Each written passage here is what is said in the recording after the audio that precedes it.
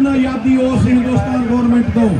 ਤੁਹਾਡਾ ਆਪਣਾ ਰਾਜ ਸੀ ਤੁਹਾਡੀਆਂ ਜ਼ਮੀਨਾਂ ਤੁਹਾਡੇ ਨਾਂ ਤੇ ਬੋਲਦੀਆਂ ਸੀ।